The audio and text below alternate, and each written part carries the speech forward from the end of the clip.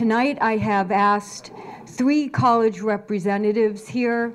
First, we're going to have the program talk about the college admissions process. So I asked them each to talk about the different parts of the process and one person will be talking about it and then they'll be adding in anything that they um, want to add according to their institution or um, if they wanted to add something that they think you should know.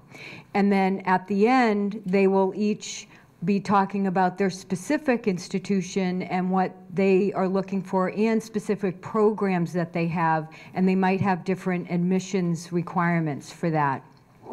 I do want to just go through the packet that was handed out. So we have the agenda, and then if you could, by the end of the program, fill out the evaluation form. On each table, there's a sign-in sheet. If you could sign in um, and put uh, the parent name and then who your junior is or your child is. And, um, and then if we could also have you, um, if you're in Avid, check off if you're Avid. If you're just here without a parent, just put your name under child. And then, uh, so if you can do the evaluation form, um, this will help us to improve our program um, going forward. And then we have uh, a handout about the junior year, navigating the college search process, and on the back of it, um, some resources, which I did email out, but um, here it is again. And then UMass uh, Graduate School of Nursing is having an expo on Monday, April 8th, and this gives information about that and how to register. And we also have uh, an early college planning uh, early college program that started this fall. And so we have summer session one and two courses available. Uh, at Quins Quinsigamond Community College has a summer session one and two, and on the back of it is summer session one at Worcester State. If uh, your child is interested in that, please have them come see me about that um, in the guidance office.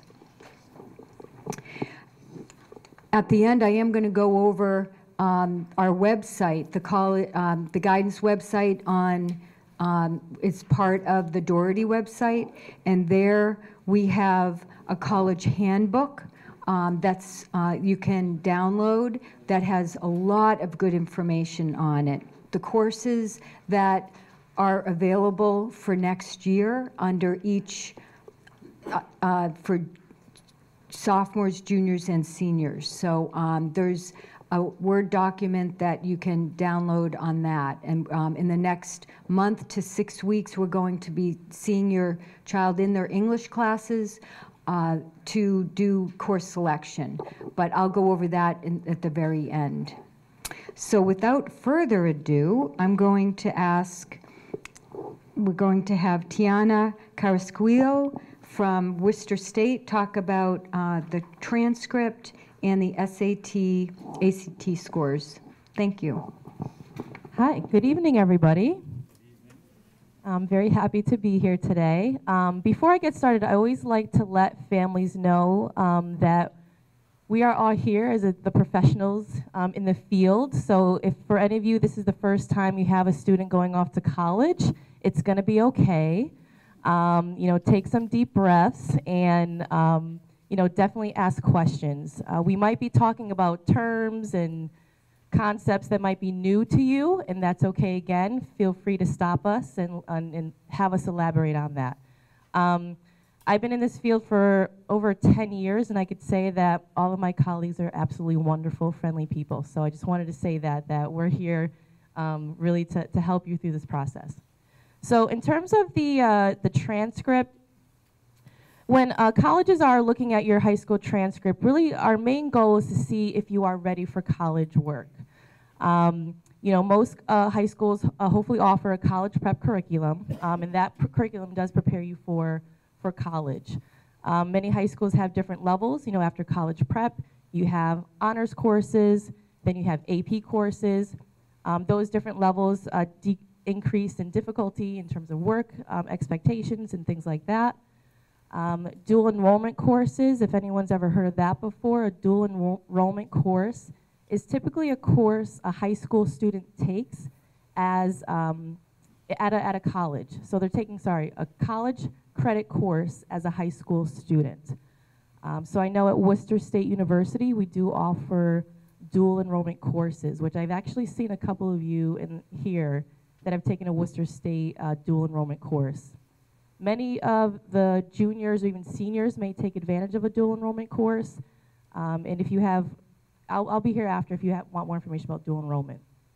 So when colleges are looking at your transcript, they like to see a college prep curriculum, uh, taking honors and AP courses and challenging yourself to take a more difficult uh, class will just show that you are willing to do more work, that you're more prepared for college. And so it's something that is a really good thing if you can take honors courses or AP courses or even a dual enrollment course.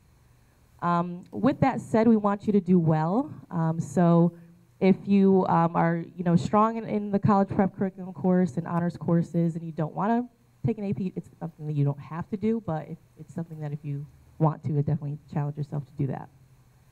Um, I encourage everyone here to make a list of all the colleges they want to apply to. So for example, if you're applying to UMass, Worcester State, and WPI, um, you're gonna wanna keep a list and maybe keep a folder, whether that's an electronic folder or a paper folder, because every single school has different criteria in terms of what they're looking for on the college transcript, different criteria for maybe GPA requirements.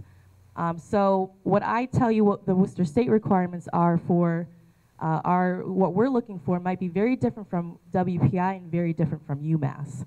So you're going to have to take lots of notes, um, and that is my recommendation to, to stay organized, is take, make a list.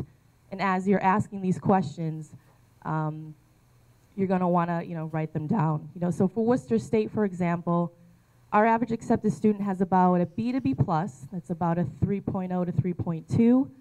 Um, our range is maybe even a 2.6 through a 4.0 and higher. Um, again, that can be very different for these two schools that are right next to me in terms of what we're looking for, so just write that down. Um, in terms of GPA, your high school transcript might have what's called a weighted GPA or an unweighted GPA. If you have a weighted GPA, really what that means is that if you are taking more challenging courses like honors and AP courses, those have what's called like a more, a, more weight or you get more points for taking a more challenging uh, course. So that's really what that means. So I, Doherty, they do have a weighted and unweighted. So you'll notice that if you are in honors and AP courses, your weighted GPA might be a little higher. Um, so that's the, just what, what, those two terms mean. Um, some schools don't have weighted, unweighted. So every school across the United States have very different ways of um, using their GPA scales, um, so I just wanted to mention that. Um, I also want to let you know that some colleges and universities will recalculate a GPA. Has anyone ever heard of that before? A recalculation. So your high school transcript might have, for example, a 3.2 listed as your GPA. Um, I know for Worcester State and the state schools, UMass, we recalculate. WPI does not recalculate. Again, so this is where I'm telling you, you need to make, take these notes. Uh, what that means is that the state schools, we are going to take all your courses in the core curriculum. So these are like your English, math, history, uh, those core academic courses, and we're going to put them into a calculator and come up with our own GPA. Um, we are taking out classes like gym class or career explorations or some of those other classes that are not academic courses. And so that could affect your GPA in terms of um, what it might be at, we're calculating it at Worcester State versus what Doherty High School is calculating it. That's just more of an FYI. I might be giving too much detail, but I wanted to let you know that that does happen at some schools. Um, and then the last thing, in terms of how do colleges review your transcript for certain majors, again, you're going to have to ask this question. Uh, certain majors might have different criteria. So, for example, maybe uh, WPI, only because I know, they have yeah, I, am happy to share that at WPI, our review of the transcript will probably look very different from that of a liberal arts institution. A A liberal arts institution is going to look equally at your performance in English and the foreign languages as science, as mathematics. A school like WPI, which has a focus on the STEM programs, is probably going to pay closer attention to your math performance and your lab science performance. And maybe we care a little less about your foreign language performance. We tend to see that the grade performance corresponds with that, meaning the students who apply to WPI typically are challenging themselves in math and science disciplines. They want to take that AP calculus course, or they want to try that honors physics course but maybe they're not as excited to take AP Latin or honors French as an example. So Worcester State, we don't have any uh, course, specific course requirements, only because I know uh, WPI, you do require a minimum of pre-calculus, that's correct. Um, for Worcester State, our minimum math requirement is Algebra 2. So again, this is just about asking questions when you're talking to admissions counselors. What are uh, the GPA requirements you're looking for, the range, uh, are there any courses that are required to apply to a particular major? Are there any courses required to apply to a particular college? Again, just an example, Worcester State, I gave you our average accepted student, but that does not apply to uh, our nursing major. Our nursing major has different GPA requirements, um, which are uh, much higher, um, and they're reviewed a little bit differently. So I will, we'll, maybe we'll talk a little bit more about nursing requirements later. The last thing I'll talk about, uh, SAT or ACT scores. I will say that many colleges are going test optional or moving away from using SATs as a way to evaluate a student. Um, Worcester State, we are test optional. Uh, that means that you do not have to submit SAT scores if you do not want to for all majors except for nursing and occupational studies. Um, the high school transcript is a better indicator. Well, sorry. Oh. The high school transcript, people could still hear me. The, you can hear. Oh. Okay, so S, oh, there we go. So SAT scores. Um, I will say there's been a lot of research that has shown that the high school transcript in your GPA is a better indicator of college success, more so than SAT scores. So a lot of colleges across the state and even the country uh, are moving towards an SAT optional uh, route, meaning that you do not have to submit SAT scores if you do not want to. However, this is a question you have to ask the college. Uh, so Worcester State, we are SAT optional, except for all, except for nursing and occupational studies majors. Um, Schools have average SAT ranges or maybe SAT minimums that they're looking for for a student. Again, you have to ask the, the colleges and universities what those are. Um, the Worcester State average accepted student probably has about a 1050 combined score. But again, we have a range anywhere from 1,000 through 1,200, uh, give or take, so to give you an idea there. Um, and the last point here, scores for specialized programs. I think I touched about that. You'll have to ask. Um, our nursing program has separate SAT scores and GPA requirements compared to all other majors uh, at Worcester State. So I'll just leave that there. Thank you. So I'm going to spend a few minutes talking about the common application. The Common Application is a tool that is used by hundreds of colleges. There are other applications that you may fill out. Uh, there are institution or college specific applications. There's something called the coalition application. And then there's the most common one called the Common Application. So this opens on August 1st. So going into your senior year, you are welcome to create an account and you can begin filling in all the many, many fields that are required to complete this application. It's essentially a shared database of information. You're gonna put information about where you live, your parents, the activities that you are involved in. Um, you will write an essay, and that information can be sent to any one of hundreds of schools that participate or who are common application member schools. This is the chance of the application for you to speak on your own behalf. So many of the other elements of the application we're getting from the school directly. You're going to hear later from Jasmine about recommendations. So we're going to hear from other people about you, but this is your chance to take ownership of the process and talk directly to the admissions counselors who are reading your file. So for example, there's a section in the Common Application that's called Additional Information. This is the catch-all paragraph where you can basically tell the admissions professional anything you want them to know. I've read things that say, oh, I want to bring to your attention uh, my decision to, to move, you know, from this program to this program in my school, or I want to let you know that I suffered from mono in my sophomore year, and if you see a dip in my grade second quarter of sophomore year, that's why. We see all sorts of things listed in that common application. Again, it's a chance for you to speak on your own behalf. I will say that when it comes to uh, the essay, the essay is a requirement for, I would say most schools you're looking at are going to have a required essay. There may be some that do not. The common application will require an essay from you.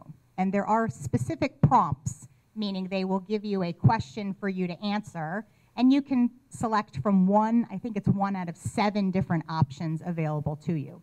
Pick the one that feels comfortable and you should spend some time, uh, if you can, you should spend some time writing a draft, talking to your parents, your friends, your teachers.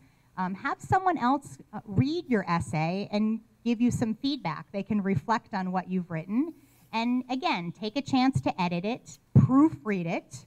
Um, you would be amazed at what you can catch when you proofread your own work. My other tip is please do not do this on your phone because the formatting comes out horrifically when it gets to the, the person actually reading your application. So while you might choose to do a draft on your phone, um, be really careful when you import that into the, into the tool so that it looks like an actual essay and not one giant paragraph of 300 words. And my last tip with regard to the essay is to be authentic. This is your voice, not your parents' voice, not your neighbor's voice, not your older sister's essay. This is your opportunity to speak on your own behalf. Choose a topic that speaks to your soul. What's, what are you passionate about? Because the more interested or passionate you are in the topic, that's going to come through when we read the essay we're learning more about you. You may be telling us about a community service trip that you took. You may be telling us about an activity. You may be telling us about an experience. But in that storytelling, we're learning more about you. And remember that colleges are looking not only to fill their classrooms, but these are residential communities. We're looking for students who are going to contribute to the whole campus community. So we're looking for artists and athletes and thespians. We're looking for people who are, who are actively involved in their school and community and they want to continue that at college because it makes for a richer, more robust college community. So you will have opportunities to upload a resume or any, or you can identify individual activities on that common application. These could be clubs, these could be service opportunities, it could be employment opportunities. And it also can be commitments that you have within the home. So for those of you who might not have the opportunity to take advantage of a lot of after school activities because you've got two younger, two younger siblings you need to be home for every day, write that down in your application. That's important for the admissions counselor to know. We want to know what makes you tick. What do you do in your non-school time? Um, that's important to us because again, we're looking to get a picture of the whole student which informs this thing called holistic admissions.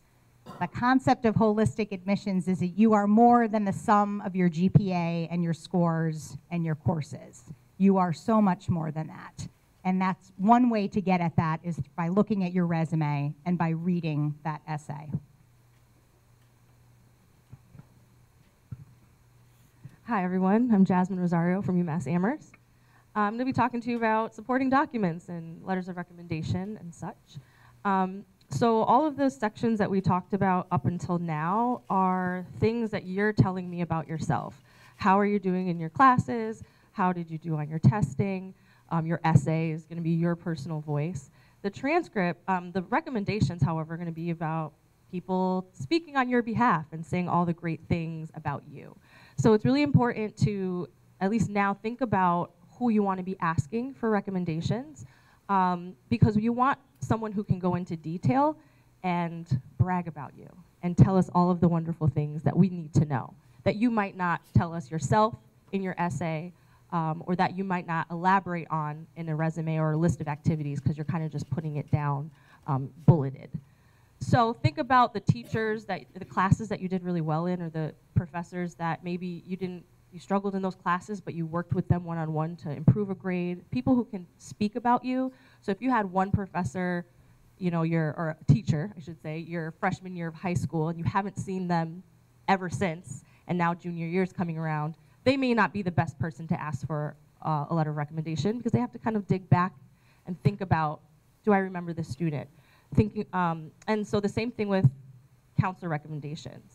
Um, your counselors are going to submit a recommendation that's kind of like a general overview of what you've done in your academic um, career here. They're going to give highlights of your four years, and then your teachers are going to talk about the specifics of your, um, your academic performances in specific classes. So for UMass Amherst, we don't have um, specific requirements of you need one math teacher or one English teacher and so on. We want to have at least one letter of recommendation for you on file. But um, the more that you can submit, the better. We ask that students don't submit more than four. That's just for our personal um, sanity. We have over 45,000 applications that come through, so it would be a lot to do times four. Um, but up to three is um, our maximum. And we want to have a range. So a math teacher and an English teacher and a counselor is going to give us this overall overview of how you're doing in your ac academic performances. Um, if you're considering perhaps um, competitive majors or specific majors such as STEM, WPI, or for us, some of our competitive majors, engineering, for example, it would be helpful to hear what a science or math teacher is going to be saying because that's the, the subjects that you're going to be taking at our school. Um, but basically, my main tip would be pick somebody who can really speak well about you because we look at those in detail. Um, some schools offer interviews, so uh, if they can, they will make an appointment with you and you can go in and have a one-on-one conversation with an admissions counselor and they will keep that information in their file and use that as part of their admission decision. Um, I know for University of Massachusetts, we don't. We don't have um, capacity to interview everyone. So we are happy to meet with families and students for general information purposes to sit down and have a one-on-one -on -one conversation. And it definitely helps with you getting more familiarized with the programs that we have and our admission requirements and standards, um, but we don't commit, conduct formal interviews. So like Tiana was saying, when you're going up to different schools at college fairs or you're calling and asking about information, find out if that's part of the process. Um, and then all schools are going to offer college visits, and that's really key. Um, you may be looking online and seeing all the different majors that schools offer and think, oh, I want to apply to this school because it has our program.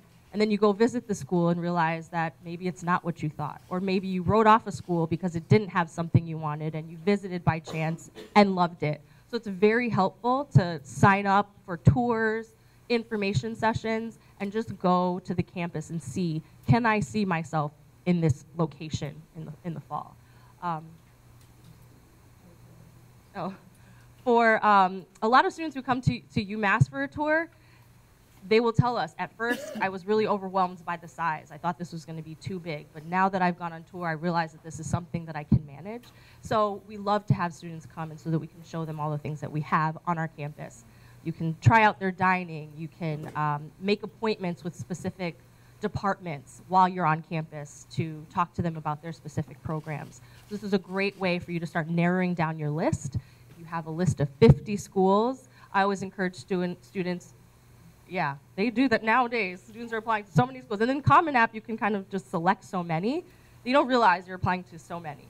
Um, but if you have a list that long, or even if it's shorter, earlier you want to start going maybe over the summer and kind of just walking around and seeing what that campus is like to narrow down your options. Then when you have that final list of schools that you think that you want to apply to, visit them. Um, we, for us, we have them every single day, multiple times a day. And then there are also weekend options. And then there are also formal options like open houses that we conduct. So there's endless opportunities for you to visit any of those campuses. So super helpful. Um, many families and students don't know this, that uh, colleges will track whether you visit them or not. It's called a demonstrated interest. Um, and I think it's a helpful tin- a tip that, um, you know, if a student applies, you know, Jen Cluett applied to Worcester State, I could actually look up her file and see if she attended open house, went for a campus tour, and sometimes that could help your application having a visit. Um, sometimes colleges will offer a, a free application fee waiver um, if you visit campus. You know, if you attend the open house, anyone who attends, you can get to have your $50 application fee waived. So um, that's another benefit uh, to visiting a college, not only because you want to see if you, it's, it's a good place for you, if this is a good fit for you, um, but also from the admission side, it, it could definitely help um, in, in addition to doing like a, a, a campus interview. Um, and so what you want to add to those, that list that you're making or that folder that you're making for all the different schools and colleges are deadlines. Every school is going to have different deadlines. So here um, they've listed early action and early decision. Those are two different admission deadlines.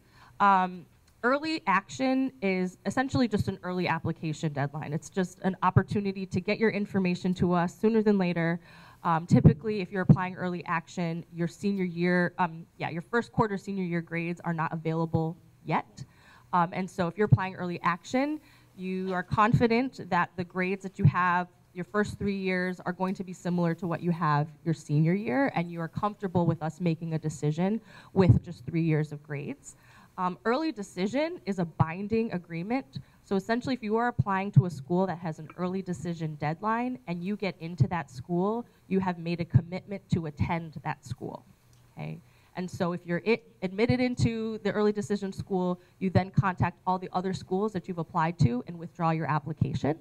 Um, or if you have a decision, you decline it however you want, and you are required to go. Unless there is a financial circumstance that makes it really impossible for you to attend that school, that's usually the only time that they would allow for that process to happen. So early action is not binding, it's just an early, just earlier application deadline. And then there's regular decision, which is the regular decision deadline. It's not early. Um, every school is different. For us, it's in January. I think for um, Worcester, it's in March. Oh, and you have so regular decision um, depends on the school. And then rolling admissions is essentially nonstop. Um, it's not unlimited. You have to, I think they'll take applications up to when school starts. You cannot keep applying once the semester has begun, or else you're going to be missing classes. But it goes really late into the admission cycle.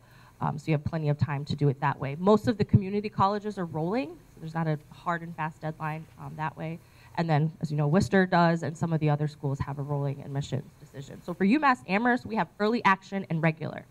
We don't have early decision, there's nothing binding, we're not rolling, um, we're done right now with our, our reading. Um, but early action for us is in November, and early um, and regular decision is in January. So I like to think that if you're getting all your stuff in in December before the holiday season, it's always helpful to get all that stuff out of the way so that you don't have to worry about it afterwards. Um, and if it's earlier, then definitely make sure to get that in sooner than later. Yes? So the proliferation of early plans, uh, colleges have been adding um, early action and early decision options uh, at a fast rate in the last decade. And part of this is, is uh, self-serving for the university because we'd like to know who's in our class earlier. Um, but it's also important for the students because as Jasmine just allude, uh, alluded to, if you know where you're going to college, you can take it a little bit easier maybe in terms of some of the other things that your peers are going through uh, through the rest of the winter and the spring. We believe at WPI we have early action, not early decision, and by elongating the decision-making time frame, it really makes the student feel that much better about where they ultimately decide to enroll. This is a major life decision, and there are major financial consequences. And we think that if we have longer to have those conversations, you will feel better about where you ultimately pay that deposit on May 1st. Whereas if you apply regular decision, the college may not be communicating with you until no, nearly April, And then you have the month of April to get it all figured out, which can really be uh, stressful. The only other thing I'll note here is it's important to ask the colleges, if you're applying to selective colleges and universities, there can be a very large disparity between the admit rate for an early program versus the admit rate for a regular decision program, meaning it may be easier to gain entrance to the university if you choose an early option. Um, so that's just something to consider because I have seen that at a lot of institutions. And then our favorite topic is financial aid. Um, so, is everyone familiar with the FAFSA? Have you heard of that acronym? Free Application for Federal Student Aid. So it's a free application. You can find it at FAFSA.gov. If you are at a website that is asking you for a payment, you're at the wrong site. Um, so it's a free form. You fill out, um, parents and students together fill out this form with as much information as possible. It includes personal information, um, as far, you know, birth date, address, all of that, and then it's also going to include household income information.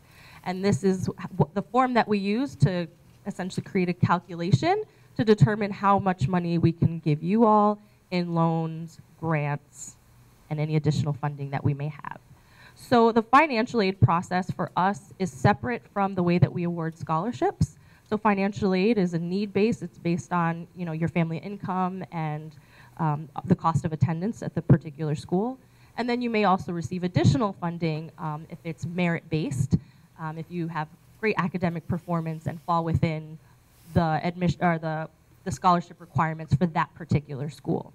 And every school again is different for what they're looking for to offer scholarship awards. Um, through the FAFSA, you're going to get loans. That's primarily the largest amount of funding that they'll give you through the FAFSA. You can also get grant money, so that's money that you never have to pay back. Um, it could go um, directly to, you know, parent loans, student loans, parent grants, all of that.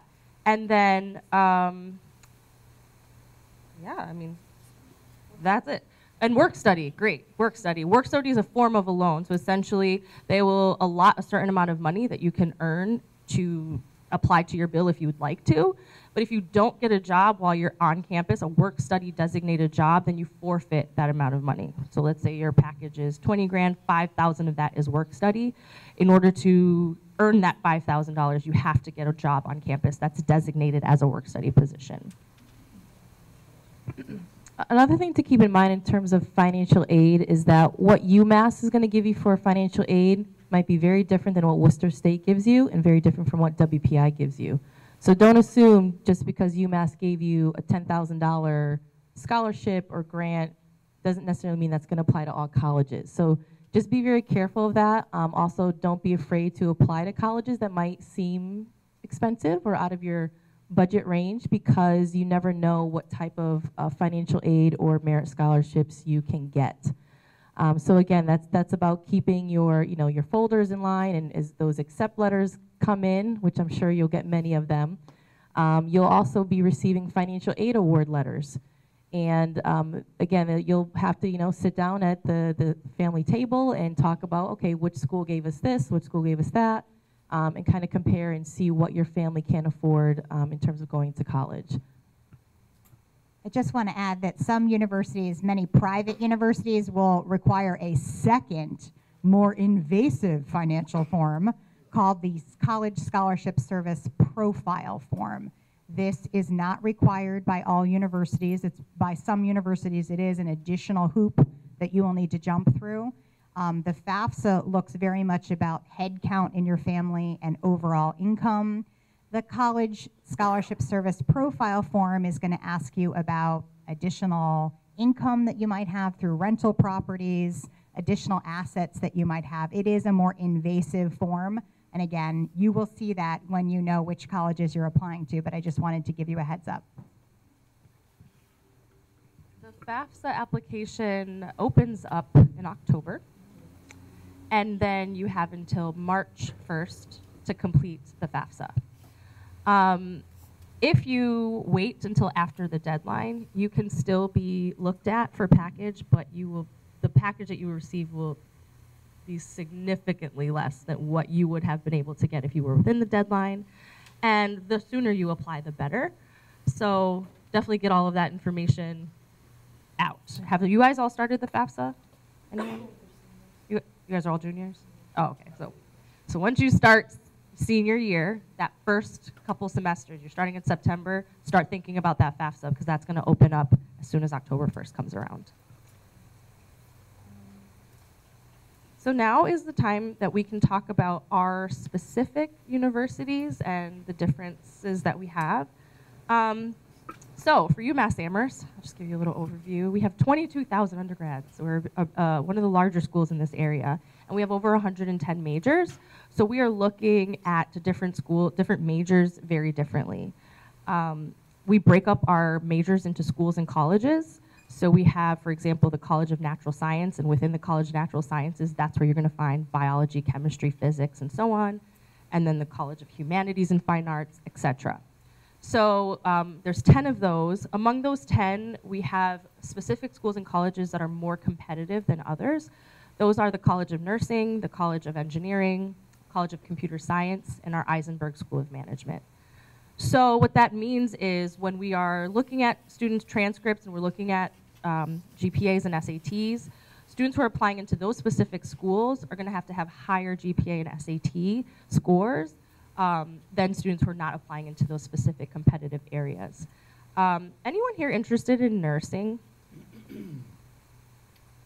Engineering? Computer science? Okay, great. No nursing? Okay, I'm going to talk about nursing anyway because I just feel like it's information that you need to know. Um, oh yes, great. There might be people watching who are interested in nursing. Um, for so these are our competitive programs. Um, so for the for our GPA SAT um, averages for the University of Massachusetts, average means that it's the middle 50%, right? Our our middle 50% range um, is about a 3.7 to a 3.9 weighted. So that's on a 5.0 scale. That means that 25% of the students admitted have lower than a 3.7, and 25% of the students admit have a higher than a, a 3.9. So that is not the minimum requirement for um, admission.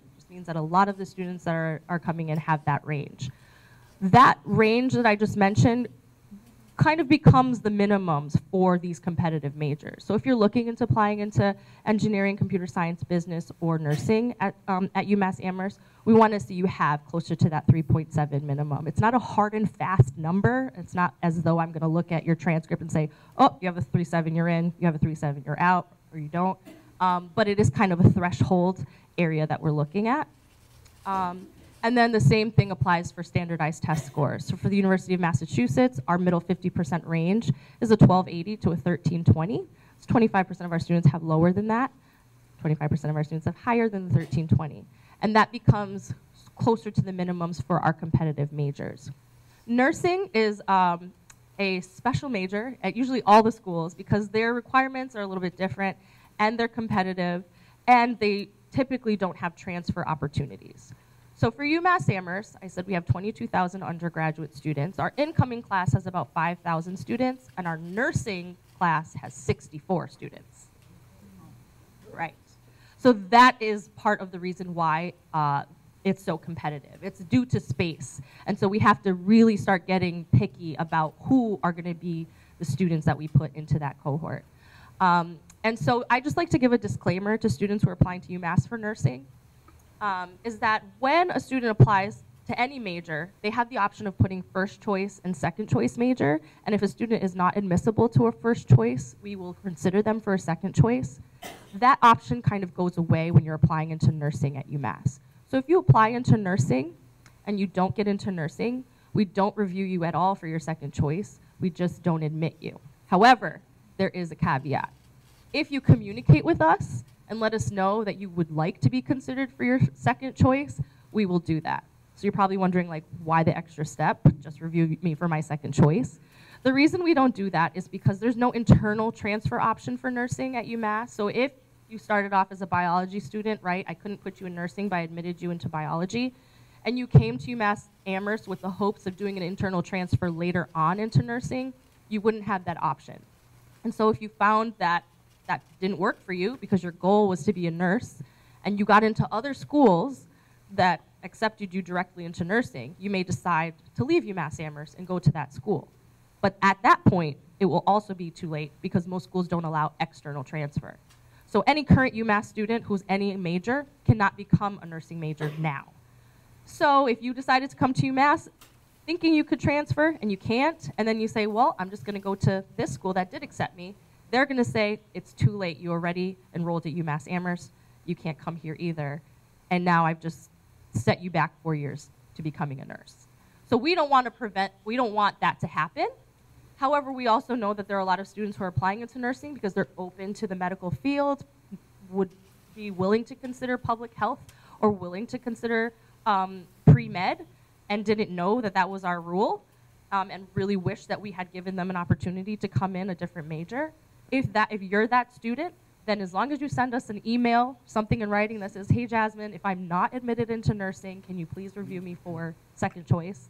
Then I'll make sure to do that and I'll put it in your file and we'll have some record in case you try to transfer later. So that's just our spiel about nursing. For any other of our majors, you can, you can move around, transfer from one major to another. For the competitive majors that I mentioned earlier, engineering, computer science, and Isenberg, I always encourage students to apply into a competitive major as a first choice and then select something outside of that competitive school as a second choice. Um, I read for the College of Engineering at UMass, so if anyone's interested in asking questions specifically about that, I can answer after. Um, I often find time, uh, I often see that students will apply first choice mechanical engineering and second choice electrical engineering. And essentially, I'm reviewing you for the College of Engineering, and so if I can't admit you into mechanical, I also cannot admit you into electrical. And so then what happens is you are a fantastic student, you just didn't make the cut for engineering, but I can't just pick a different major for you, so I have to deny you admission. And you think, I'm, I could have gotten into UMass Amherst. What happened? And that's what happened. So if you're thinking a competitive major, kind of just look to our, our list of what else we have to offer. Physics may be a great option for a second choice for an engineering student, or chemistry if you're looking at chemical engineering, or biology if you're looking at biomedical engineering, and so on. Um, and so when you're going around asking different schools about what their competitive majors are, just kind of keep that as, a, add that to your list of many things that you want to keep note of. And say, all right, if I'm applying to this specific school, where else can I do just to get my foot in the door? Because a lot of times students will start off in their second choice major and then transfer in later. And the process tends to be a little bit easier in the sense that we're not considering your high school academic anymore. We're not looking at your SAT scores. They're going to say, what did you do your first semester or your first year here at UMass? And then make their decision for an internal transfer that way. So that's kind of just the specifics about our competitive majors. And I'll pass it on to my colleague. Um, so I'm representing the great college of uh, Worcester State University. Um, to give you just a, a, few quick facts about Worcester State, uh, we're a lot smaller than uh, UMass, but we are still a state institution, a little over 5,000 um, undergraduate students. Um, our most popular majors being criminal justice, education, psychology, biology, and business, but we have over 60 programs that we offer. Um, in terms of the type of student we're looking for, our average accepted student is about a B to B plus. That's about your 3.0 to 3.2, but that is an average. If you know what an average is, we do have students who are above that and some who are a little bit below. Um, our range being anywhere from a 2.6 through a 4.0 uh, GPA. We also have a nursing program, um, very similar to the expectations and criteria at UMass. Uh, students to be considered for nursing do have to have a 3.5 GPA or better to be considered and a minimum of an 1130 on the SAT. Uh, that, that is a requirement, the SAT for the nursing program. Um, all other majors, it, you have the option to go test optional. Um, a program that um, was not mentioned at uh, UMass, I don't think you have, we, at Worcester State we have occupational therapy. Uh, we have a five-year program where you can get your undergraduate degree and your graduate degree within a five-year track. I think we're one of the few in the state, maybe the only one in the state in the area. Um, a wonderful program there. Uh, again, those do have specific GPA and SAT requirements. you need a minimum of about a 3.2 for the OT program and a minimum of a 1080 on the SAT to be considered for that. Um, at Worcester State, if you are not admissible to nursing OT, we will automatically review you for admission to Worcester State to a different major. So it's a matter of just reading those admissions letters very carefully because you could get a letter that says, congratulations, you've been accepted to the occupational therapy program, or you could get a letter saying, unfortunately, you did not gain admissions to OT, however, you can come to Worcester State under a different major. Um, but knowing that those programs, you cannot internally transfer into them later. So it's either you have been accepted or not. Um, I want to also mention that Worcester State does have a summer bridge program called the Alternative for Individual Development. Some of you may, may or may not have heard of this program. Uh, this is a program for students who might not meet admissions criteria, the academic criteria, whether it's GPA or SAT scores, however, show academic promise or academic potential where you would do a six-week residential program, um, taking classes, meeting other students, getting tutoring services um, as a way to prepare you for college. On the Worcester State application, there is a question that will ask you if you do want to be considered for the alternative um, for individual development program. It's the AID program. Uh, you could check that off and we can consider you for that program. Um, again, any information that we give, if you forget or have additional questions, we will be here after and we will be taking questions. But I wanted to make you aware of the um, AID program that we have. Um, another thing that I will talk about is that all of our institutions here have great relationships with community colleges in the area. So if you find yourself um, whether for financial reasons you want to start at a community college or for academic reasons, maybe you didn't meet admissions criteria at, at any of these institutions, you can start at a community college.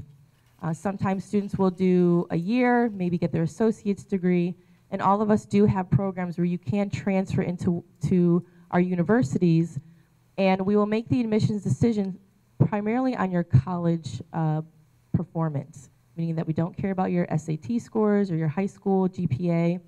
We are only looking at your performances at the, the college that you, that you went to. So think about transferring could be an option for you. Um, I wanted to, to, to, make that point.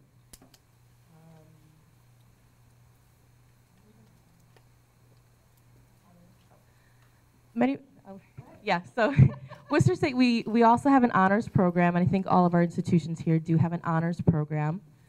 Think of it, at, in high school you have the National Honor Society. You're taking honors courses, you're taking a more challenging curriculum, you're amongst students that are interested in, in honors courses. So all, most college universities do have an honors program. Um, we have one where you do need a minimum of a 3.5 high school GPA to be considered for the honors program. The benefits of being part of an honors program is you can graduate with distinction on your diploma, you might have access to living learning communities where you can live with other honors students. There's a lot of social programming and community service done within honors programs. I know at Worcester State we also have an honors scholarship to, not for admission, but we have a, an, a scholarship for current honors students to study abroad as well. Um, so you get a, a stipend actually to, to do that. So it is a wonderful program to get involved with, and so if you are in the Honor Society in high school, you might want to consider that uh, in college as well. So I'll leave that pass. Uh, WPI does not have um, individualized requirements by major. So when you apply to WPI, you apply to the university, and we really don't pay too much attention to your major because you're 18 and you're probably going to change your mind anyway. So uh, we look at you at your standards for the university, knowing that the vast majority of our majors are in the STEM disciplines. We sort of use that lens when we're evaluating your candidacy. Um, in terms of some unusual programs or maybe some um, programs you're not familiar with, WPI has uh, strong programs obviously in the engineering, math, sciences. Robotics engineering is a wonderfully interdisciplinary program. We have programs in interactive media and game development, bioinformatics and computational biology. um, psychological sciences, architectural engineering. We have some really uh, interesting and innovative programs. Um, in terms of our average student profile, again, we don't have any differential standards. We are a test optional institution. The vast majority of our applicants um, do want to take the SAT, amazing as that is. Um, we only have about 15% of our applicant pool choosing not to submit testing. The average testing at WPI middle 50% is between a mid 1300 and a mid 1400. Average student has a 3.8 weighted GPA. They're very, very good students. They typically are taking honors and AP courses.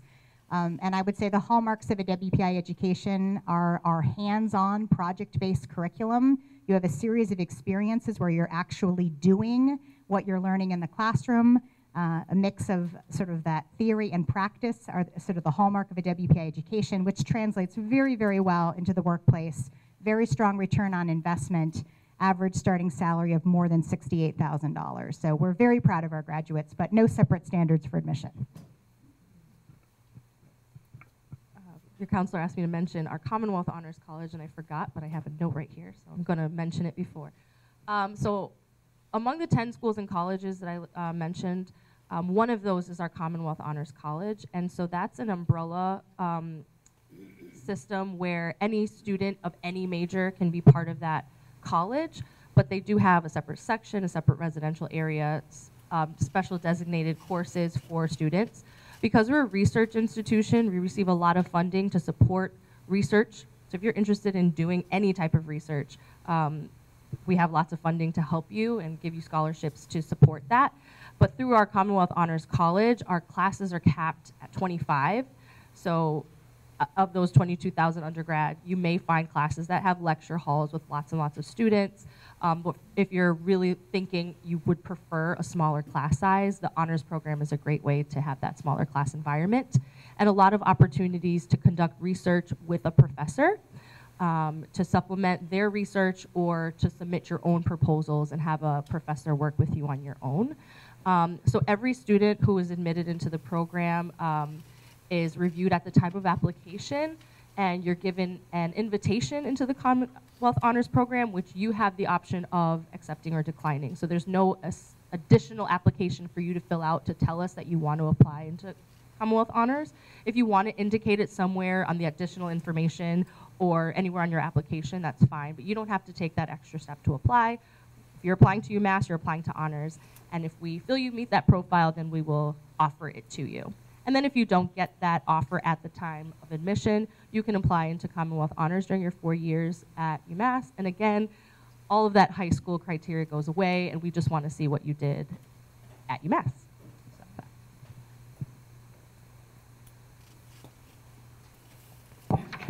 Wonderful, thank you so much. Um, before we take questions, I did want, uh, I have a current uh, avid senior that I just wanted to ask him if he has any advice for the students and the parents here. Um, I know he did a lot of work on his own, both with the college admissions uh, applications and also in financial aid. And this is Jose. Okay. Hi, everybody. Um, so I'm a senior here at Doherty, four-year average student, as you heard. And um, coming into the summer, uh, into my senior year, I well, everybody kept talking about the college process, college process, how easy it was for them and everything. But um, like this one senior year comes, it wasn't as easy as I thought unless you have um, everything organized. Like my AVID teacher recommended me to have just a milk crate and organized folders. Just um, keep scholarship with scholarships. Have um, all your supplement essays ready, set to go um, and um, you um, finalize a nice, uh, well-written uh, resume. So you can just um, send it in with your college application. And um, so, like for me, um, some of my struggles were like I'm a procrastinator. So that wasn't that wasn't so good for me. Um, if you're a procrastinator, you gotta keep up with the deadlines. If you don't, um, for some scholarships, um, they'll cut it off right there. They won't give you no more time. Um, I don't know about colleges if they you can contact them before contact your admission officer to see if you can send in a late application. Um, but luckily, uh, uh, I've been fighting through that struggle and sending everything on time. And um, now uh, I'm going to Worcester State. well, yeah, um, it's uh, dealing with academics in high school and um, through the college process at the same time isn't as easy as think uh, as everybody thinks. But like uh, with your parents by your side, um, you can manage it. It's okay. Uh, it's doable. Oh yeah, I took in dual enrollment. It was pretty fun, Mr. Haynes. Yeah. Oh yeah. Well, yeah. That's so far. Uh, that's how far I am in the college process right now. Well, if any of the students have any questions afterwards, I'll be here, sticking around. Thank you very much. Thank you. So I did, um, did want to mention, um, the Naviance student online program is wonderful because we can send electronically. It connects, um, all our juniors, we were with them in December when we gave their SAT scores. We also got onto their Naviance student accounts and they started the process of looking up colleges, putting in their criteria, maybe what majors they wanted, um, if they wanted to be in Massachusetts or New England or in California, and you can start building the list, and then you add your schools on that list. So that's the way we can manage, um, we, the students can manage this process. There's, um, there'll be matching in the beginning of the fall. we have uh, lots of directions and, and help with them to uh, match to the Common App and Naviance so that when they put things on Common App, it gets connected to Naviance. And that's the way uh, they would ask their teachers for letters of recommendation. They would ask them personally, verbally, beforehand, and then they send, then they input their information, and we send out our, um, we have our letters, and um, and then everything gets sent to the colleges, so it's direct. There's no more paper. Uh, the exception is Quinsigamond Community College. Some of the community colleges still we send it out paper, but um, otherwise, most of the colleges are connected on the Naviance um, programs. So that's a great way to organize themselves to see where they're what they're interested in. Then you can transfer that over to applied, and then um, and then on that you can go right to their websites to see what they require for that.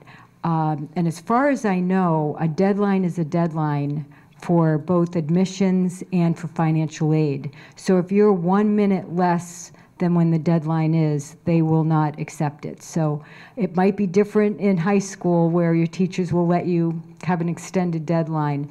The only exception is is when we had the ice storm and they knew that you weren't in school and a lot of the colleges did give us deadlines but scholarships admissions and financial aid there are deadlines uh, just a reminder april vacation is a great time to visit colleges uh, we usually have good weather during then.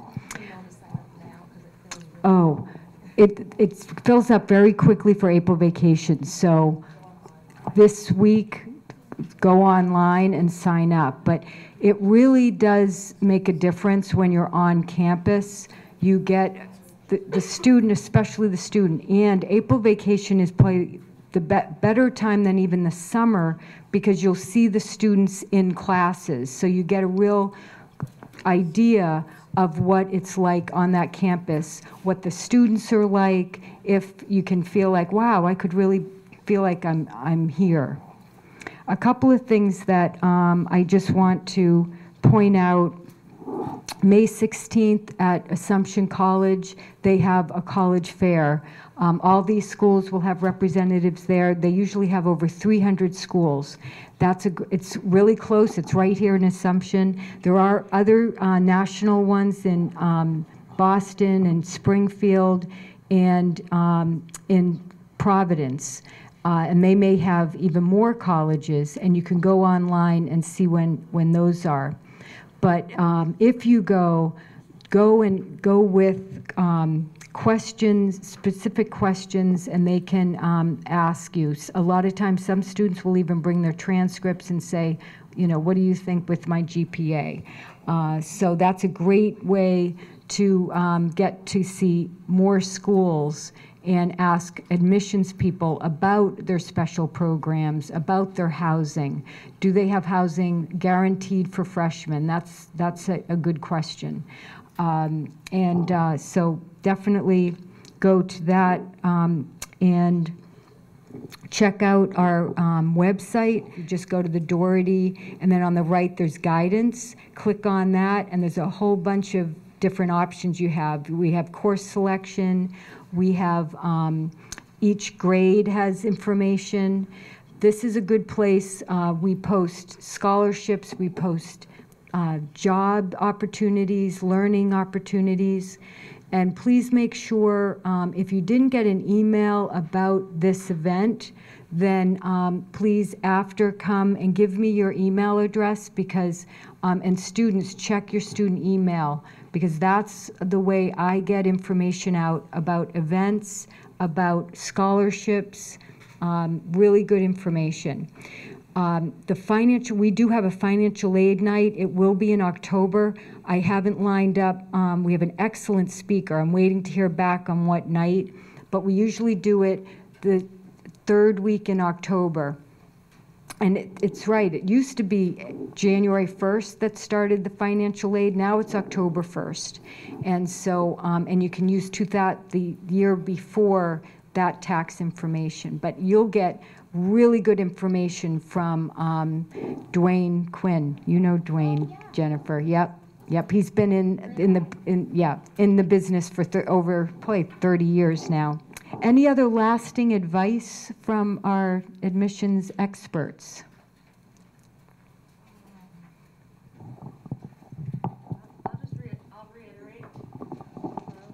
Oh, hi. I'll just reiterate what Tiana said in the beginning. It's going to be okay. This is probably a lot of information to digest. You're probably like, I don't remember anything. You're gonna rewatch this video a few times. It's okay. Um, don't worry about what major you have because you might change your mind a bunch of times. Don't let this be stressful. You have a lot of resources to help you, and we are resources as well. So even if you're not applying to UMass Amherst, I'm leaving my card. Feel free to email me or call and ask questions just about the general process. That's what we're here for. We don't want you to be stressed out. It's already daunting enough, so please use us. And um, during open houses, all of our institutions have open houses. That's a great time to actually meet faculty within those different departments. Because as admissions counselors, we have general information about all the majors. But if you really want some in-depth information about business or visual performing arts, I highly recommend coming to an open house and actually speaking to the faculty within that department because they can give you a better, much more information than maybe we can as well. Um, I do, not off the top of my head. Our open houses are in the fall. Um, they are in October, November. I want to say it might be the 14th of October, but don't quote me. Um, our websites as well um, have a complete list of all of our visit options. And you can sign up online to do a tour, do an open house. Um, we even have accepted students programs, which I hope maybe Jose you'll come to. Um, so as you're getting your acceptances, there, there's, there's a lot of opportunities to visit throughout the year. Um, I know all of us, I think, even have summer tours. So if you wanted to get, take a tour during the summertime. So you'd go onto our institutional website, look for admissions, look for a visit, and you can actually see the, the schedule and sign up that way. Did you want to add anything, Jennifer? I was just going to say my, my piece of advice is to the students this is a journey of self discovery. You're going to learn a lot about yourself, about what you really want out of life. Um, so I think I do, I really believe that. Tiana's making fun of me.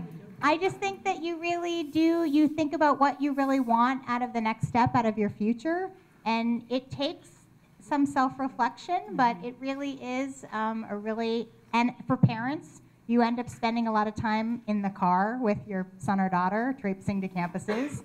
So take the opportunity to get to know them in a different way. And again, wherever you land, you are all amazing people, going to do great things. So I wish you the best of luck, but enjoy the journey. And if I can just say something, the students that do spend time, even more time on their safety schools, finding and that could be academic safety and financial safety, the better that we don't see them transferring, you know, a year later, that they're transferring to other schools. So spending the time now and over the summer, really, um, and self-reflection is important. Do I want to be in a large school? So that's why even these three schools, if you visited just these three schools, you'd have a chance to really experience what a very large uh, university is, what a private university, and then a smaller university. Um, one, you know, UMass isn't in, uh, well, it's a city of its own, but um, a, a town. You are a town, a town. It seems like it seems like a city, but um, but it's more rural than being in a city. And so um, we're fortunate, just even in Massachusetts, within an hour you can go and see different, and even just in Worcester, you could see different schools, just the different types, just so that you know what, what you're looking at. If do you want to be in a classroom size with 250 students or with 30 students, and asking them those questions, how many typically are in there. Thank you very much for coming tonight, and you can uh, go to our website for more information. Thank you.